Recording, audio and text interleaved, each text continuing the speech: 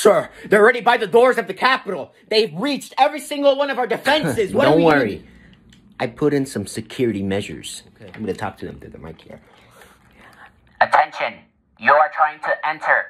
It's Yeah, illegal. get back! Yeah, get back! Please.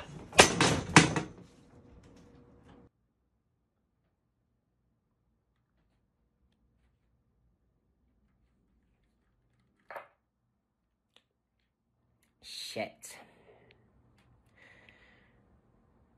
Well, at least they're white. I mean, Shit, I, you're right. I don't. I don't You're right. I mean, yeah, now. duh, of course.